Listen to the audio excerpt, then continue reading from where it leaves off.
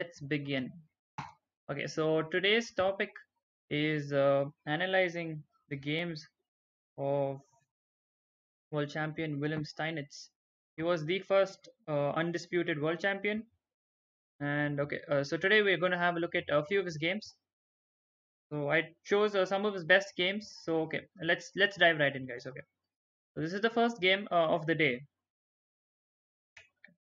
So okay, so here we have an e4, e5, knight f3, knight to c6. And after we get into the Italian, we see that uh, we have an Evans gambit on the board. Okay, so with b4, this move signifies Evans gambit, and this is, was this was a very famous gambit in the time, a very aggressive move, uh, which you guys can also try in your own games. It's actually pretty interesting. Okay, so black. Okay, this is one such gambit where okay, declining the gambit does not make sense uh, the best way to take accept the gambit is just to take with the bishop. Taking with the knight, of course, hangs the e5 pawn. We don't want to do that. Uh, that actually helps white. So, okay, taking with bishop and c3. So, what white aims to do with this pawn sacrifice is he wants to get c3, d4 in quick time. So, after bishop c5, he castles first. And uh, after d3, he gets d4. So, he gained a couple of tempi on this bishop so this is uh, the point of the pawn sacrifice and also he makes the b2 square not blocked. So basically this bishop has a very good role of coming to a3 in many variations. Okay, as you might even see in this game. Okay, so pawn captures, pawn captures and bishop b6. So if you watched a video on the first uh, world champion Paul Morphy, we would see a similar game where we saw the move knight c3 and uh, the game went on with knight f6 and Paul Morphy exploited this bad move with e5. Here, what uh, Steinitz wants to do is, is something similar, but he doesn't want to waste time with knight c3. He wants to play e5. But the problem here is when you play e5, black doesn't have to open the position and he can respond with d5. Okay, so what he does is he plays d5. Now, at first glance, this might look like an anti-positional move, like blocking your own bishop. Like what what is he doing? What, but what his actual plan is, is actually to make the break e5 very, very powerful. So he wants to stop the pawn push d5 and he wants to make the break e5 effective. So in effect, you're actually not blocking the bishop permanently because at some point, uh, this bishop, this uh, pawn is going to try to get traded off and this diagonal will still again come back to life. Okay. So, okay, d5 was on the board and we have knight a5 trying to trade off the bishop. Okay, so there is no real threat on the bishop uh, because, okay, here uh, he plays e5, hanging the bishop. If you take the bishop, uh, black can, I mean, white can win back the piece this way. Uh, but in the game, black missed his opportunity to pick, up uh, white's very strong bishop. And he continued with the move bishop d7, now threatening to take the bishop and queen a4 check is not available. Okay, uh, black goes bishop d, white goes bishop d3, uh, uh, saving his bishop. Black continues with knight e7, trying to develop more pieces. He finished development of uh, all his pieces, and he is now trying to get his king to safety before the e file opens up, and black castles. And right here, okay, castling is not the best option. The problem with castling here is uh, you don't have a knight on f6, and many times when you don't have a knight on f6, the h7 point becomes extremely weak. And like in this game, this and also g4, h5 squares are accessible by the queens. With a knight on uh, f6, we might have good control of these squares, but now we don't have defense of h7 or control of these key squares. Okay, uh, here black castles and white in, in immediately starts with bishop g5. He brings a piece and pins the knight to the queen. Black plays queen e8, unpinning. And we have knight e4 and this is actually a very nice move bringing all the pieces towards the king side. Now all of white's four minor pieces are just charging towards the king side. And over here black makes a critical mistake. He plays knight g6 and white is already completely winning. The move is knight f6 it was played in the game. And this move is a piece sacrifice. And the point uh, of this move and this is actually a, the best move in the position. Okay so the point of this uh, piece sacrifice is to completely open the position up he has to take because there's a fork and after takes a bishop into f6 and already white is having all kinds of uh, mating ideas with these weak dark squares being exploited. The dark square bishop is on the other side of the board and cannot assist with these weak squares. Okay, uh, black plays d takes e5, which is already again another mistake. And as of this moment, uh, simply queen d2 followed by queen h6 is unstoppable checkmate. Uh, except for the one uh, move that black found, knight f4. Over here, there is an interesting move, knight e5, which uh, is ending uh, by, you know, mate by force or black has to give up his queen. But in the game, white found uh, another way to win this game. He found a very flashy queen sacrifice. Queen takes f4. Okay, of course, knight e5 was winning on the spot, checkmating faster than queen f4. Uh, but okay, queen f4 was played in the game. This is a queen sacrifice. And the point is after e takes f4, knight g5. And the problem here is bishop into h7 is checkmate and there is no real way for you to avoid this without giving up your queen. You have to play queen e4 and white based his idea on this move. So he sacked a piece on f6 but he got it back. So his idea of giving up the queen was getting back the piece and really having a better position with uh, about level material. Okay, uh, over here you have to play queen e4 because you cannot move this rook. Without moving this rook, the king cannot get escape squares. So queen e4 was played in the game.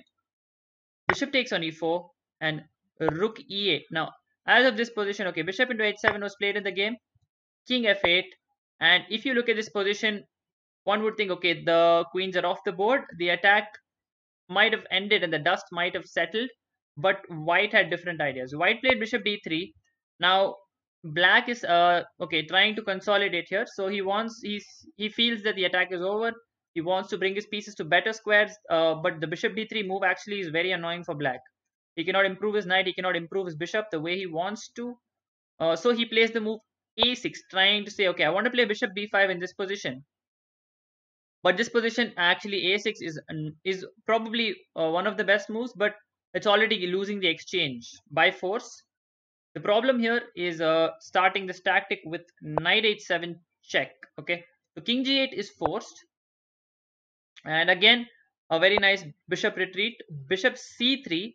The point here is to vacate the f6 square for this knight. So knight is coming in and making a fork, and it's not very easy to get rid of this threat. The problem is this is actually not only trying to win the exchange, but it's also hitting the bishop. The best move at this point was actually to play bishop b5 and give up the exchange. Uh, but okay, uh, like in bad positions, it's a tendency for, I mean, all players to try to hold on to everything. So, okay, he tries to hold on instead of just giving up material and accepting his position was bad. And rook e7 was one way to do it. Uh, another way was just to play rook d8. But both ways, you're actually losing the exchange by force. That okay. So here, knight f6 check was played in the game and you can't really go here or to these squares because your piece will be uh, taken for free uh, because of the discovered check so he had to play king f8 and already uh, after bishop b4 black resigned the game because it's very difficult to deal with this threat it's just uh, looking like an exchange up advantage but actually white will not hurry in taking the rook white will try to play rook e1 and try to put pressure on the rook it's not clear how black is defending. Although with accurate defense, black will only lose the exchange. There are so many, uh, you know, scope of making mistakes. For example, at this position, this bishop is actually hanging. The best move here is actually rook d8. It's very difficult to find. You would like to play moves like rook e8, try to defend the rook, but it's not easy. It's not easy. You have c5 resource. After Rampazan, you might have knight in knight into c6 but then again you hang the bishop on d7 so and also with c5 this bishop will hang on b6 so in many of these variations uh, you know white is winning more than an exchange so it was very difficult position and black had had enough black resigned in this position and with that we come to the end of our first game guys so in this game we saw a very flashy queen sacrifice followed by a very sweet uh, finishing tactic that helped White to win the game quickly. Let's move on to the second game, guys. Okay, in the second game, uh, we have uh, Johannes Zukertort playing against Wilhelm Steinitz. Okay, Wilhelm Steinitz playing with the black pieces in this game. And okay, the game starts with d4. d4 in this opening.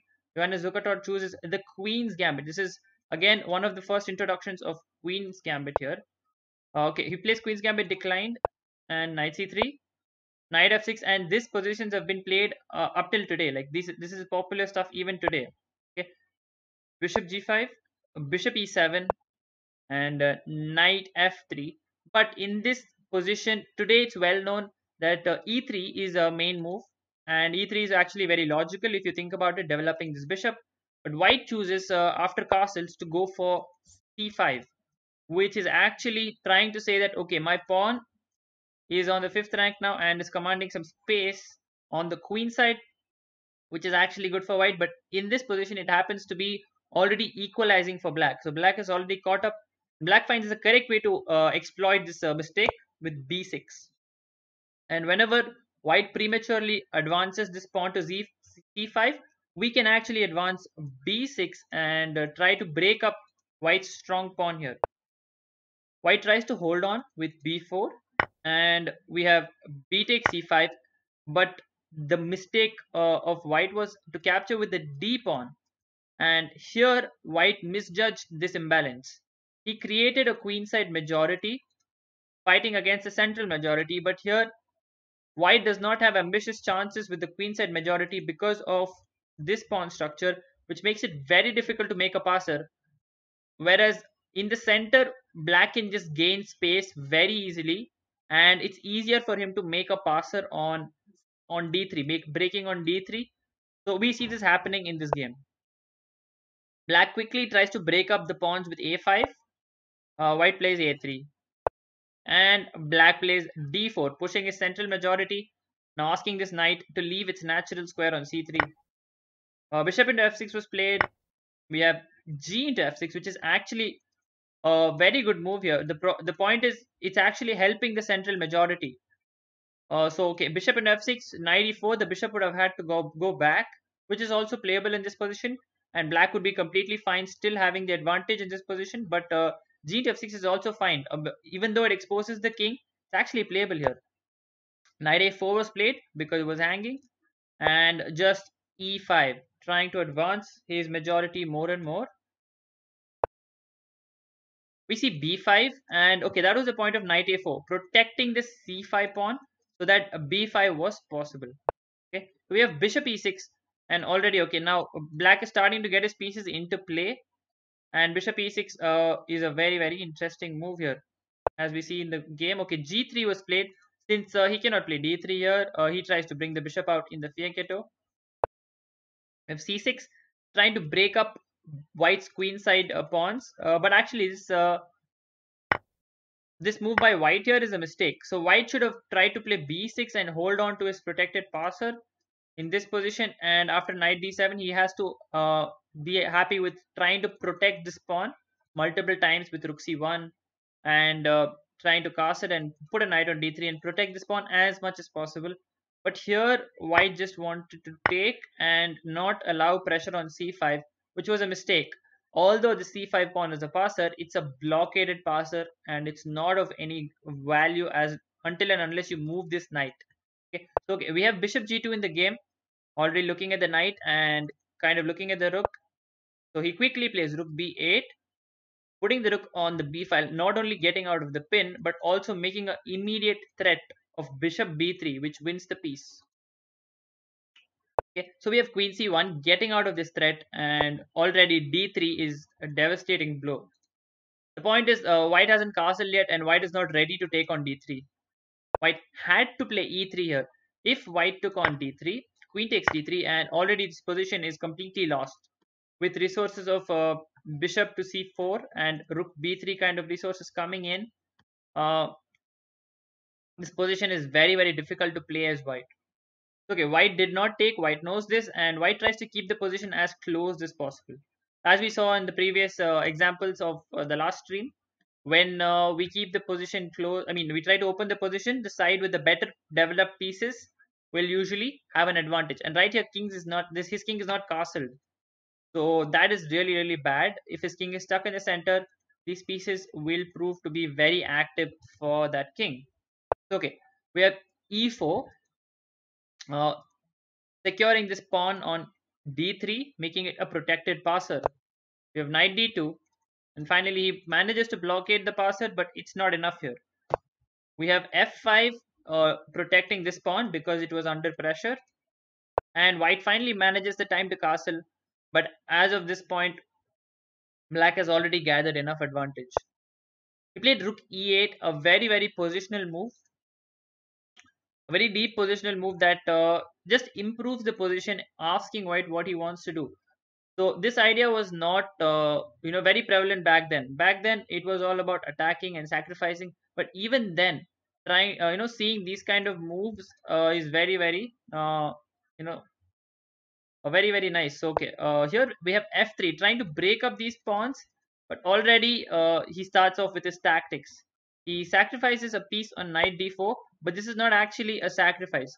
The point is, after you take, you get back the knight and you win a pawn but in the game you will see that uh, he will not directly jump to take the knight you have to take this knight because if this knight jumps to e2 it's going to be a little dangerous. You're going to get forked. So uh, you could try king h1 which is a possible move.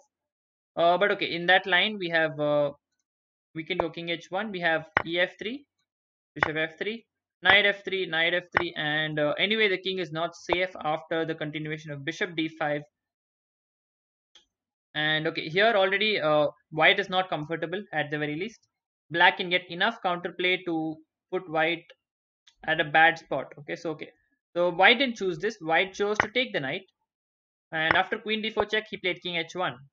Now if black takes this, uh, white will be more than happy to take on e4 and uh, claim that okay, he has enough pressure on d3 and he doesn't have too much play. But instead, black forgets about the piece and just pushes the pawn, which is act, which is the best move in the position. E3, and uh, this knight now is uh, also hanging. So also this knight. Okay, white saves this knight, saying, okay, if you want the pawn, you know, if you want to take the piece back, you have to break up your strong pawns in the third rank. Uh, black was not interested. Black played bishop f6, saying, okay, I want to take this knight. I want to keep my pawns this way so that I can continue pushing them with ease. Okay, now white saying, okay, if you don't take that, now you can't take my piece. Uh, but black was more than happy with this move. And over here, black found a winning combination which started with d2, queen c2, and bishop b3, hanging the f5 pawn. But really, it's not of any danger. You can take on f5, but you don't even have a good check here. Okay, uh, we have queens on d1, knight takes d1 and bishop takes d1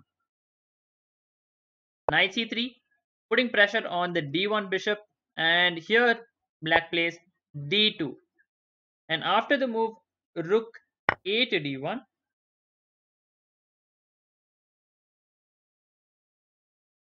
uh, black simply finishes off the game very elegantly with the move. Queen c3 uh, claiming that okay white has kind of self-forked himself with this move rook ad1 and he just he will drop a rook.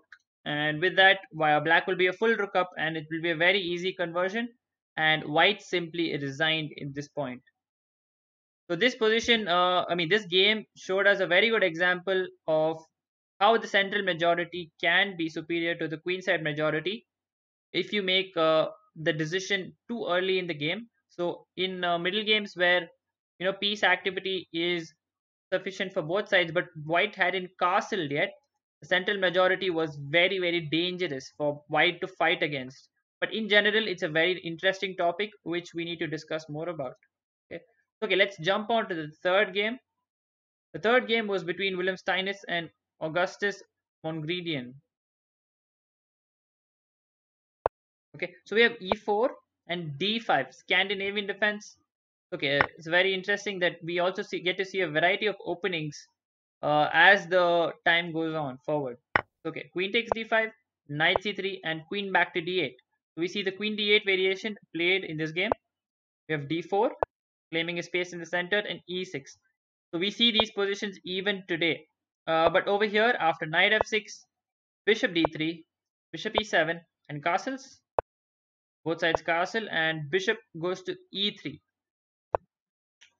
with b6 now that this bishop is blocked over here he says okay i'm going to bring my bishop over on b7 which is a logical idea and knight e5 after bishop b7 we have f4 cementing that knight on e5 which is a very good idea here. And after knight d7 we have queen e2 trying to bring the last piece into the game knight d5 was on the board and knight takes d5 but here black plays pawn takes d5, shutting down the bishop. Now the bishop is not so active.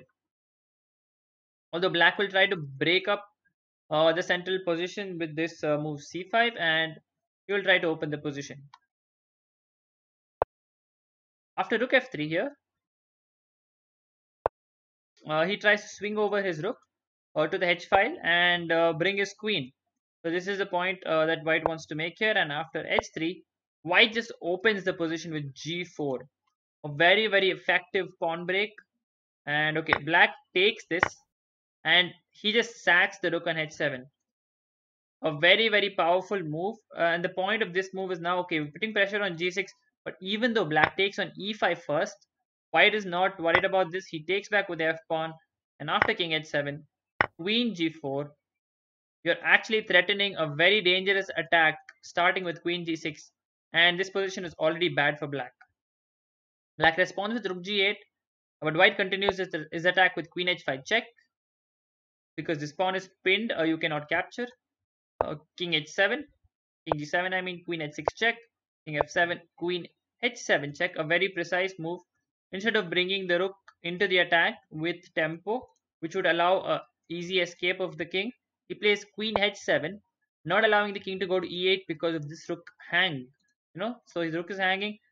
Black however plays king e6 and over here white finds queen h3 and right now after uh, king f7 the difference is rook f1 check. Even though the king can go to e8 he can't go to d7 so the tempo that he got by bringing the queen to h3 is allowing him to bring the rook even into the game after queen e6 he's threatening a decisive move bishop g6 uh, after queen, uh, I mean rook g7 here, he plays bishop g5, bringing the final piece into the attack. And now the point is, okay, you're just putting too much pressure on this uh, square, and you're going to now you're just preparing bishop uh, g6 shot. After queen d7, it the game is already instantly uh, there's a forced mate. After bishop into g6 check, uh, rook into g6 was forced. If king d8, uh, we'll see a similar pattern of what happened in the game. There's a rook f8 uh, you take and rook into f8, uh, rook into e8 is mate. Instead, uh, in the game, we have rook into g6, queen into g6. But anyway, the similar pattern occurs after rook f8, queen e8, and queen into e8. Showing a very good example of you know how to destroy the castle with a very very stunning sacrifice rook into h7 so a rook sacrifice game which was very interesting and we can learn a lot from this kind of play. Okay, so we move on to the fourth game against the same opponent about a year later. Uh, let's see. So e4, g6. Now this time, instead of the Scandinavian, he chooses to play the modern defense. So that was Augustin Mongredien. He plays one year later the same uh, opponent. Okay, bishop g7, c3. Okay, so even uh, before the time of uh, Aaron Nimzowitsch, who put a word to the hyper modern type of thinking, we see this uh, kind of openings played, which is again very fascinating. Bishop e3, a bishop b7, and knight to d2.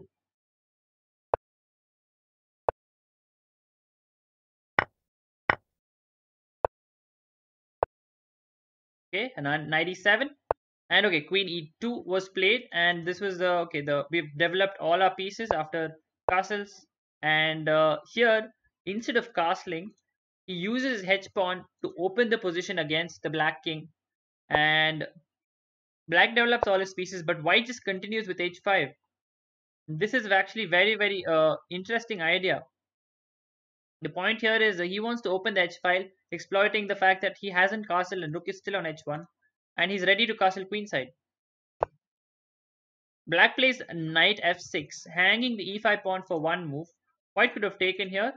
Uh, but okay, white chooses to open the h file, which is what he's more interested in. than taking the pawn on e5. Okay, knight into g6 now defends the pawn. Uh, okay, and now white castles. Now white is happy that he has an open file and he's satisfied that even though he has a pawn that's moved uh, in front of his king, making this break easier to open the c file and attack his king, his attack is actually coming much faster. c5 was played and okay, here knight g5 move uh, with an idea of, you know, uh, attacking h7 pawn.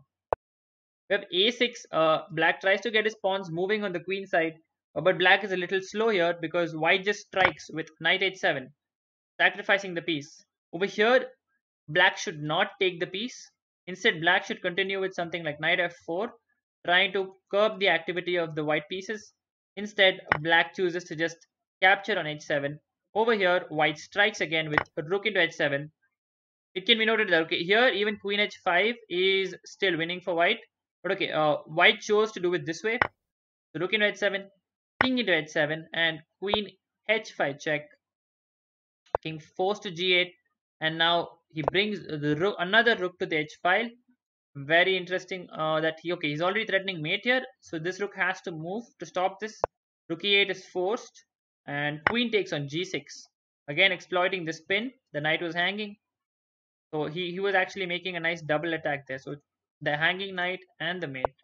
Okay, queen f6 and already okay you might think black is starting to defend, but actually black uh, loses his queen on the spot in this position. So you can probably uh, try to figure out the tactic here. Or you can pause the video. I will be showing you the move here. We have bishop into f7. And the point here is after queen into h7, there's a rook h8 and king into h8. The queen is hanging on f7. And it was in this position that, uh, again, Augustus Mongredien resigned the game. In view of, okay, we have queen for two pawns against, queen and two pawns against two rooks. Uh, although, okay, uh, black pieces uh, are not connected, they're not active. They're not active and they're not harmonious. So whenever you're playing queen versus material, say two rooks or rook and a minor piece or you know three minor pieces and those kind of imbalances, what you need to look for is the side without the queen needs to have a safe king, and the side with the queen he no, should not have any you know helpers. Like here he has two minor pieces helping the queen which is too much which is too much to handle with an unsafe king who will get mated uh, most of the time. And also you have more pawns. So black doesn't really have a way to generate play and black is actually completely lost in this position. Okay uh this it'll be very easy for white to organize an attack which is minor pieces and queen working together on this exposed king. And it can be noted that already he's uh, having a threat on this bishop. So black has to just start defending in this position and you cannot play against a queen if you're forced to defend. Let's uh, move on to the fifth game, guys. Okay, so here in this game, okay, William Steinitz is playing white, and again we see another game with d4, d5, and the queen's gambit is again on the board. This time Steinitz is playing it. Okay, so again it's a queen's gambit declined, bishop g5, bishop e7 and e3 this time uh, he doesn't uh, go for this mistake. He plays e3 which is an improvement to that previous game. Castles knight f3 and d6 so even today we see these setups very very often. Bishop b7 and castle these positions are very common even to, to this day. Knight b to d7 and c captures on d5 and you can see out of the opening we have a very very interesting Carlsbad structure. So basically in these positions, uh, white wants to push these queenside pawns. Nowadays, this is the most common thematic idea in this position, but we'll see how Steinitz plays this. He plays rook c1, putting the rook on the open file, and uh, c5. And after takes takes here, uh, black takes up a hanging pawn structure, which is very nice here. Okay, very interesting that we see these kind of uh, dynamic pawn structures even uh, back in those days. Okay, so here queen a4 move, having ideas of putting pressure on this knight and also having ideas of swinging the queen over to h4 to coordinate with this bishop on h7 and threaten uh, moves like bishop f6 in the future. Although now it won't be a real threat because you can replace it. So he cuts off the queen switching over with knight e4 and okay bishop into e4 was played and after d4 we have rook to d1. The point here is even though the bishop and the knight are both hanging, uh, he's just saying, okay, you take one of my pieces, I will take uh, your piece, and my rook is getting active on the seventh rank. This is actually very, very a valid point. So after bishop into g5, we have knight into g5, queen into g5, and over here, rook takes on d7 and you're already hitting the bishop once and the bishop really ha doesn't have too many comfortable squares to go to.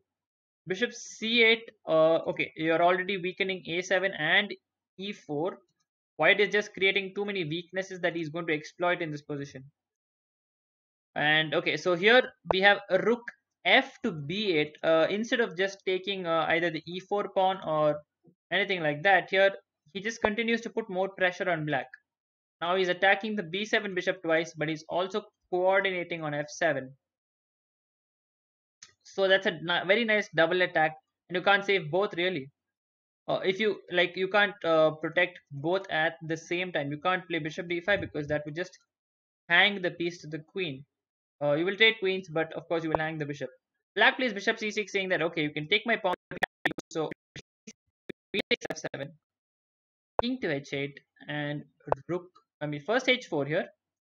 First h4, the point of h4 is very very uh, clear because you can't take this pawn, uh, this mate over here is hanging. But also, in a way, it's also creating an escape square for the king, which you will feel, which you will find very very uh, useful in the later part of this game. So there is no back rank weakness now. So h4 has gotten rid of back rank weakness. Black plays queen g4, which is the only move on this file that uh, still continues the game for him. And rook into a7. So uh, white is now completely having a big, big positional advantage and he just tries to convert uh, this advantage. A rook into b2, uh, first rook into a7, the trade and rook into b2 was played. Now white has to defend black's attack after queen c5. White is clear two pawns up. Uh, but okay, black has an attack here. Black plays queen e6 with the idea of protecting his bishop that way because he couldn't really uh, move the bishop uh, because of this two mate threats. He can't save both the mate threats. So with this move, he actually defends very creatively. Rook d1 was played, now making another mate threat, uh, but also making another threat which is uh, not noticeable. He plays h6, getting out of all the back rank mates, but he falls to rook d6, which is winning the piece on the spot. Black plays queen f7 saying, okay, if you take my piece, I am mating in two moves. Okay, white can't take the piece. White plays knight d1 and now counter attacking the rook. So now rook and bishop both are hanging. So you can't uh, save both. Uh, black tries to make complications with rook e2 with the idea of rook e1. Uh, okay, so if you take the bishop, rook e1 is an interesting move and black can uh, try to play for complications. But here white just plays king f1 fantastic move. And uh, now the rook has nowhere safe to go. He can take on a2 really but the bishop is hanging and black has really no counterplay for the piece you can also take with the queen. It doesn't really matter. After queen takes there is going to be a very good uh, combination with the queen and rook if the queen leaves uh, the defense of the king. Uh, for example if you take this and take this already white is threatening rook check and queen check followed by mating attack. So okay uh, with the piece down this position was hopeless. And after king f1 black simply resigned the game. And black in this game uh, was adolf anderssen a very famous player back in the time.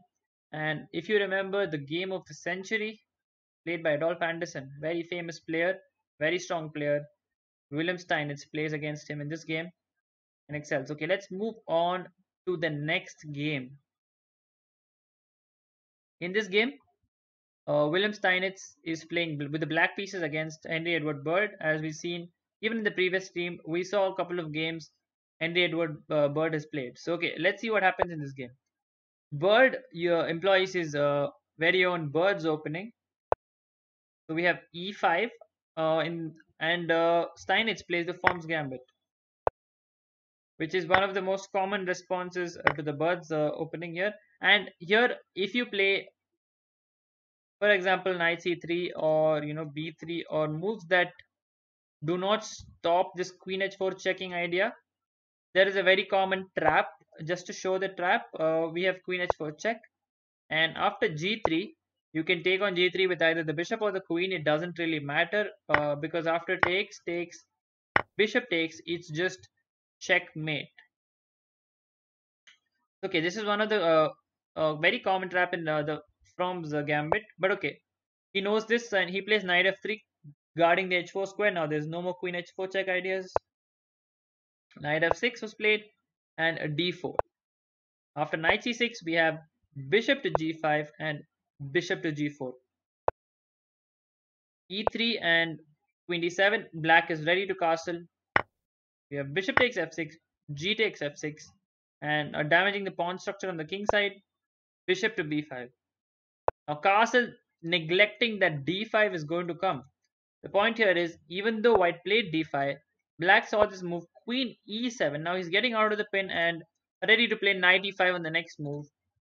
Taking this knight is not very good because of the queen e3 and black is getting a counter attack here. But uh, white bites. White's asking, okay, what do you have here? He takes on c6 with the bishop though. But it doesn't matter to... white. okay, the point here is if you take with the pawn, bishop g3 is just asking, uh, you know, uh, hanging the queen. But okay, takes with the bishop. This queen takes e3 check. And after queen e2, queen c1 check. And here after, you know, queen d1, he's not even taking back, you know, the bishop. He just gives up more material. He hangs a rook uh, with rookie e, rook e8 check and takes takes king f2. Although this queen is safe from capture, the king is actually now on the run. Queen d3 check. Now king f1 and after bishop into f3, very precise move. Bishop f3, g f3 and bishop c5. Black is completely winning in this position. Queen f2 is a very difficult threat to stop. If you play something like queen d1 or queen d2, the point is uh, queen into f3 is immediately winning because the king has no escape squares. The queen will be forced to block on f2. We can simply checkmate. King g king g2 was played in the game, uh, but okay after rook g8, uh, white simply resigned uh, in view of uh, this move king here and checkmate. Or if you go back, queen f2 is checkmate, and really uh, there is no way uh, for white to you know go on here white was completely lost. Uh, you know, even as of this point, there was nothing that white could do after queen into e3. White is completely losing and his ideas are very, very restricted. Okay, uh, this is a very, again, a very uh, nice piece sacrifice by William Steinitz. Uh, let's move on to the seventh game. William Steinitz plays against Louis Paulsen, another player which who we saw in the previous stream. Let's check out how he plays this game. We have e4, e5, knight c3, and knight c6. Okay, we see the Vienna game move order, uh, but uh, the game after f4, ef4, d4,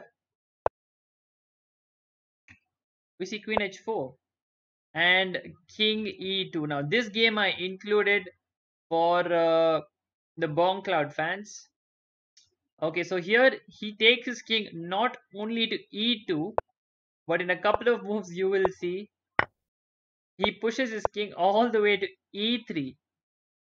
The point here is okay, he doesn't want to allow. Okay, uh, king e3 is de definitely not a good move, but he's uh, playing king e3 here and still he survives. Uh, black is not winning here. Queen h5 was played and bishop e2. After black tries something with queen a5, he just plays a3, bishop into f3, king into f3.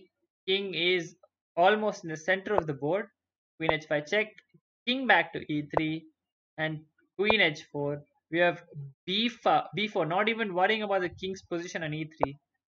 We have g5 uh, by black, and of course black could have exploited this position better, but just to show uh, the sheer uh, you know fearlessness of white here you know with uh, b5 and knight d7 rook f1 finally after knight f6 white decides to retreat his king to g1 and okay now it becomes a sane game again but as soon as uh, you know you you think that it's going to be sane uh, you know things break loose again. So after a4, uh, rook g8, uh, b3, ab3, and rook in f3. Now the point of rook f3 is to allow bishop g4 to be played. Okay, very nice exchange sacrifice, very sound one. He plays king b8 in the position and knight to d5, getting a tempo of the queen. And really, okay, this position is starting to look good for white. White breaks open the position with a4 and uh, black tries to counter attack with f5 although uh, b4 would have been a better try here because now after a b3 just hanging the bishop which cannot be taken really because of a b takes on c7 uh, you know winning the exchange but also continuing the attack in very aggressive fashion uh, you know black will be completely lost. Basically if you take this you're not just losing the exchange you're actually losing the game on the spot. You see it we have rook a8 check king a7 and you will queen here. And this is just losing. Like you have two queens on the board and okay there's no way white is escaping this going to end in mate for sure. Of course you can't take the bishop. So he had to take the pawn to stop this.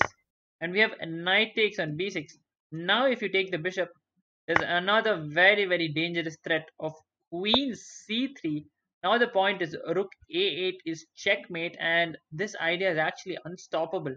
You have no way to stop this. Queen c3, very quiet but very strong move. So still can't touch the bishop. And okay, black finds this as, as well and he finds a creative defense.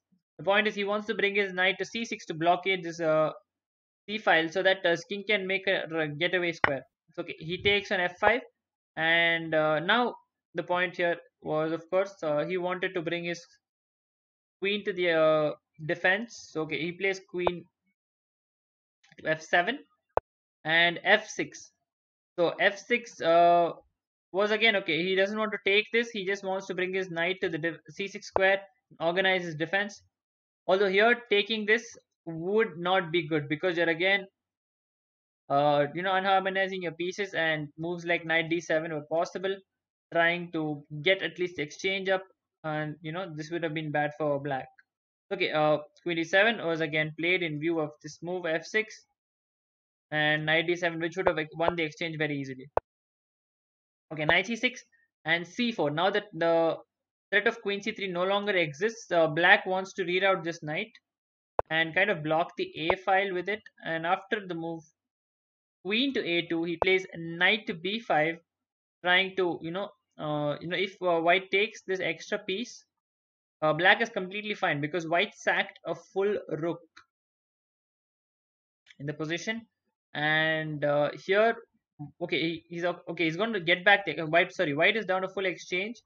And uh, he's just going to get back uh, the piece and he's going to be two pieces for the rook but okay that is not sufficient. I mean white thought that was not sufficient and he could get more in the position. So he plays knight d5 threatening queen a8 mate and this actually wins the game on the spot. Black had to play queen d5 and after cd5 knight takes on d4 uh, white finds a very simple mate in 3 you can uh, pause your videos and try to work it out. I'm going to go on with it. Uh, the move was queen a7 check. King c7 is the only move. Rook c1 check and regardless of where this knight blocks it's just mate in 1 after knight c6 and rook c6 because of this pin the pawn cannot capture and this is checkmate. Let's move on guys. Okay so here uh, we move on to game 8 uh, William Steinitz plays Mikhail Chigorin in uh, the 92 World Championship. This is a World Championship match game and this is one of uh, his most famous games. So the next three games are one you know are a uh, collection of William Steinitz William Steinitz classics. So these are the games that uh, you guys can learn a lot from okay so these are the very very important games which all of you need to know so e4 e5 and these ideas in these games are really really fascinating. Okay knight c6 and bishop b5 moving to the Ruy Lopez. Okay we see the Ruy Lopez and we see Berlin defense. The Berlin defense was uh, actually uh, started they started playing it uh, back in that day but uh, it was not played for a very very long time uh, in the 20th century. It was not very popular and it was actually popularized by Vladimir Kramnik in the 2000 uh, World Championship match against Garry Kasparov, where he won uh, back the World Championship title and uh, he dethroned Garry Kasparov. So, okay, this is a very, very interesting opening that uh, remains uh, relevant even to this day in the highest level. Okay, so d3, we have d6, D3, and okay, we have g6. Uh, okay, this position has okay become like a modern defense structure. Okay, we have a knight f1, and this maneuver even today is very, very popular.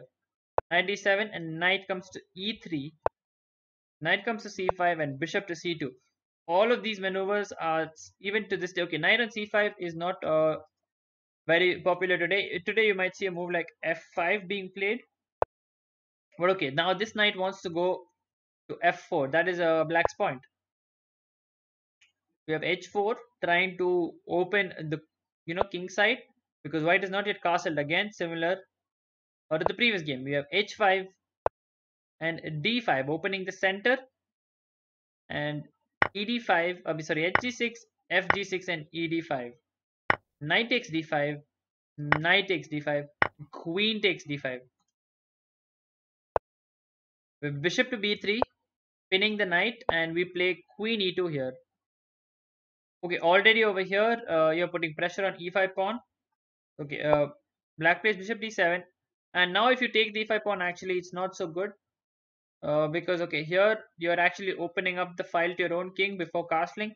So that would be risky for white. Also you're hanging g2 which is bad for you. Before castling that is. Okay so here bishop d bishop e3 was played just to prepare castling. And king h8 unpinning the knight. The castle queen side and rook a to e8 and both sides have brought all their pieces into play. And white plays queen f1 getting the queen out of the rook's file looks rook's x-ray attack. So we have a5 because of opposite side castling black starts the pawn storm and white just breaks in the center with d4 trying to open the position. Here after ed4 knight d4 knight d4 or bishop d4 uh, one would expect uh, you know a move like bishop d4 but here we have an exchange sacrifice and this is popularly known as the double rook sacrifice played by William Steinitz. After rook into h7 here, the game ended very quickly after queen h1 check, king g7 and bishop h6 check. And really, uh, white is uh, black is just getting mated here. It's forced mate after king f6, queen h4 check, and there's nothing to do here. There's nothing left to do. You can't play g5 because queen into g5 is simply mate uh, if you play king f4, queen f4 is mate. Uh, in the game, we had king e5, uh, but after queen into d4, black resigned the game because the only move is king f5, and we have queen f checkmating, and uh, white went on to even win that world championship match. Okay, so William Steinitz won that world championship match. That was one game from the from the complete match. Okay, so here uh, we see the next game against Kurt von Bardeleben, and this is also a very very famous game, uh, which is actually a very uh, also very interesting idea in the to finish the game. So it's all it's a very beautiful position to see. Let's see how the game uh, goes. Okay, knight c6, and this time we have an Italian game, 45 Italian game, and we have c3. Nowadays, very popular line in the Italian c3 uh, preparing d4 okay knight c6 and d4 we have ed4 cd4 bishop b4 check knight c3 and this is actually this was actually a very popular line back in the day you're hanging the e4 pawn but okay this is a very complex line uh, black plays d5 and white plays ed5 and knight to d5 and castle okay so now even c3 pawn is hanging but uh, white really uh, is not worried. Uh, black just plays bishop e6 and bishop to g5 hitting the queen. Bishop goes back to e7 and now bishop takes on d5. Bishop takes on d5. Knight takes on d5. Queen takes on d5 and bishop takes on e7. A whole lot of trades at the end of it. The king is now stuck in the center of the board because rook to e1, now he cannot castle. Whichever side he castles, the knight hangs. And now queen goes back to, okay, we have f6 first, and after queen e2, queen e7, he still cannot castle on both sides of the you know board because now the knight is just going to hang for free and with piece up you will easily win the game rook c1 was played and uh, here we have c6 on the board. And white here finds a very creative idea. D5 a beautiful pawn sacrifice giving a pawn to vacate the d4 square for the knight. And knight d4 was played in the game. And after king to f7 the knight intrudes on e6 knight e6 and uh, really causing a lot of problems rook hc8 was played and your queen g4 not only threatening the g7 pawn but also threatening to discover check and attack the queen which is actually unprotected at this moment so he he plays g6 protecting the g7 pawn but we have knight g5 check king e8, the only move that holds on to the queen. But we see the point of knight g5 check now after rook takes on e7. Now the point is you cannot take either way. The problem with queen takes e7 is you just play rook takes, rook takes and queen takes. And with king takes rook is uh, simply that after rook e1 check, you will have to part ways with the queen. After king here, you have a knight, sorry, knight e6 check, my bad. And wherever you move the king here or here, the only two legal moves. After knight c5, the queen is just hanging. And you cannot save the queen. You can go king e3 as well. Uh, but okay, uh, this is also not so um, uh, very good for you because here we have queen c5 check and uh, a very dangerous position where white is getting, I mean, black is getting mated very, very quickly. We'll not get into this. You guys can work this out uh, for king d6 if you can find. After uh, rook e7 in the game we had king f8 and now you will see a very beautiful pattern you will just play king rook f7 now uh, you can see that okay right away the queen cannot take again because of rook c8 and a similar tactic but in the end of this tactic the queen will also be under attack. So okay, uh, he has to block with the queen and we get similar positions but a little improved version for white because he gets to grab both the pawns. Okay, he moves the king again. This time he just continues to follow the king with rook g7 check. The point is okay, now if you try going back in this position, already you're losing after a rook e1 check. Why can't he take the hanging queen here? Because uh, he takes the rook and it's mate, okay? if you can't take the queen with check, you're not going to win the game. So if you play here, uh, rook e1 check. Uh, after this, you're getting mated. Okay, so you can't go back. Now, again, similar idea. If you take rook on c8 is hanging, king h8, and now rook h7. And okay, still similar ideas. Okay, so king h8, this position black resigned, but after let's just show a continuation. King h8, uh, king g8 here, and okay, uh, rook g7 will be played and now the point is if you go back if queen h4 check which is winning on the spot okay so for example here queen h4 check you have to take the rook and uh, queen check and this is the move. Check.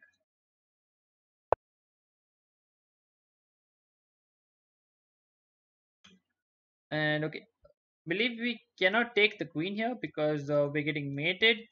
But after check uh, we have this rook entering the attack and this is going to end very badly for black. Okay so yeah queen f6 check. And okay black is getting black is getting into all sorts of trouble here. And eventually white should coordinate very well to gain a very interesting attack here. But okay in the game we didn't uh, see this variation. But this is, I believe, is completely winning. Uh, okay.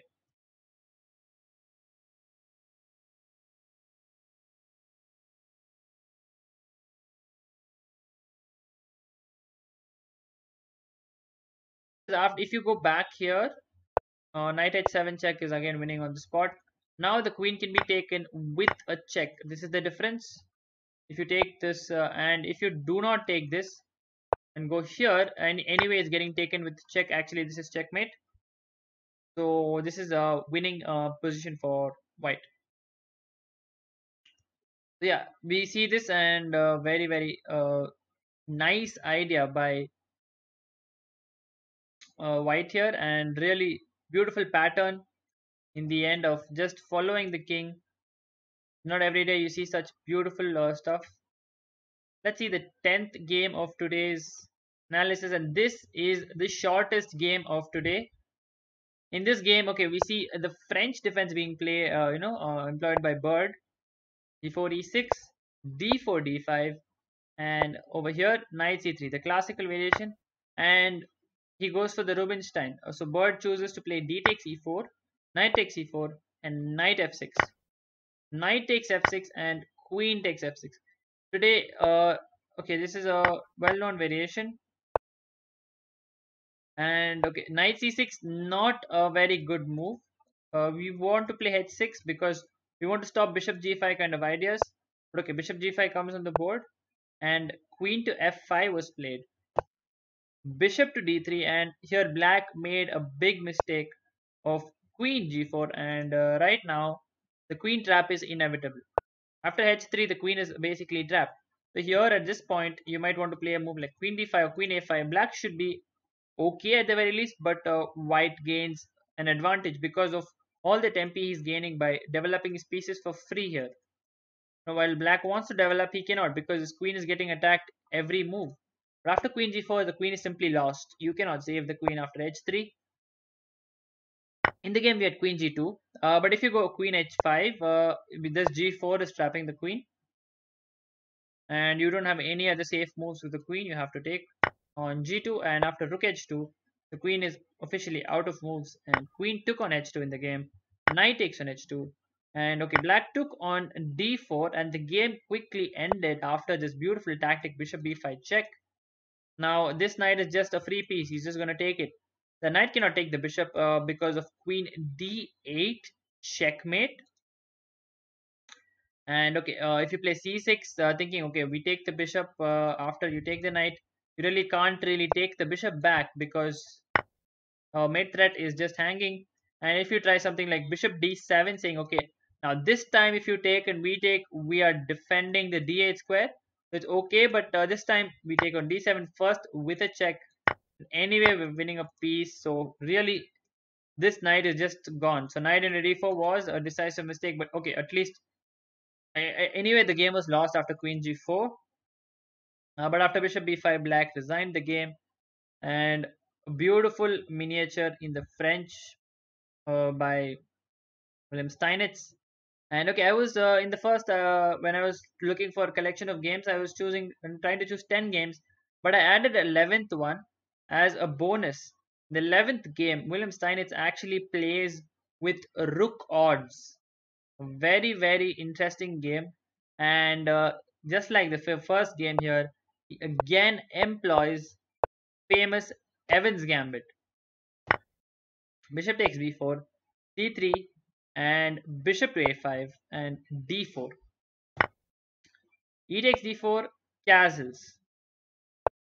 Knight f6 and we have bishop a3 not allowing the black king to castle. We have bishop to G, b6 and queen to b3 and at this point we have d5 ed5 and knight a5 here we have rook e1 check bishop e6 uh, saying okay now you can't take my bishop uh, because your queen is hanging. But white says okay that's exactly what i'm going to do. The queen is hanging. Black jumps to take the queen but now we see a beautiful sequence of moves that ends in forced checkmate. King c6, knight d5 check, king b5, bishop c4 check, king to a5, bishop to b4 check, king to a4 and king after finishing his beautiful walk falls to this pawn checkmate of a takes b3 and uh, that was actually a very very stunning and really uh, that was you know fascinating. I hope you guys enjoyed. Uh, please do follow uh, the channel and I will just drop the link in the chat.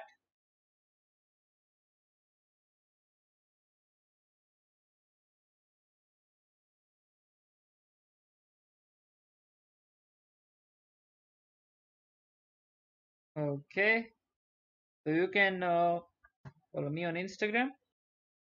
I will uh, see you guys in the next stream. Until then, bye bye.